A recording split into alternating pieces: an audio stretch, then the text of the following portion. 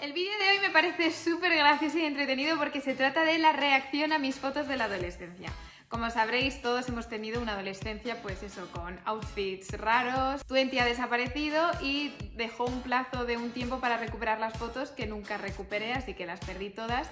Y una amiga mía me las ha dado. Así que voy a reaccionar con vosotros a la vez a mis looks, a mis caras, mi aspecto, en fin, todo